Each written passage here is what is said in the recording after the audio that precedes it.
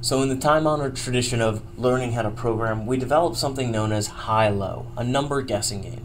And that's actually why we talked about math.random just a second ago, is because we can now sort of pile in all these basic structures that we've talked about, loops, conditionals, math.random, getting a user's input, and we can now play this simple game, which is simple enough. You know, uh, I say, uh, guess a number go ahead, guess a number between 0 and 100.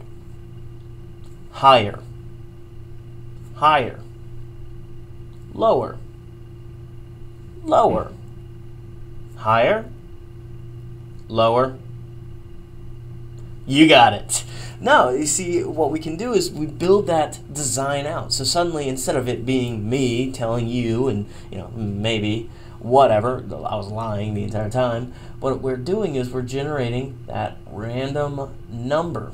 And so now what we do is we get our input from the user. We're getting this. Now, this guess, we call this something known as my sentinel value.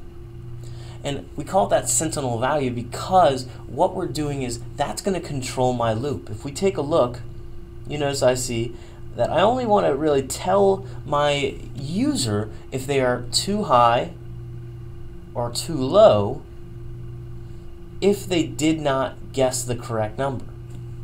And then in turn, if they didn't guess the correct number, I do a little bit of a, a conditional statement here where I tell them whether or not they were too high or too low. And I have to determine that on my end as well.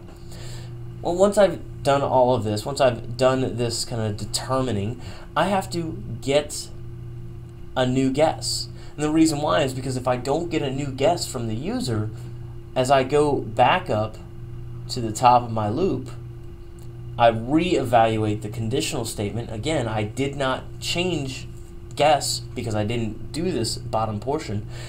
I'm going to run into an infinite loop where it says too high or too low because I never changed my sentinel value. And that's one of the main things with a loop is we have to change that value otherwise we get stuck in the infinite loop. In our case, what we do is at the end, we at least prompt the user, we prompt the user one more time so that we at least are changing it each time if that makes any sense.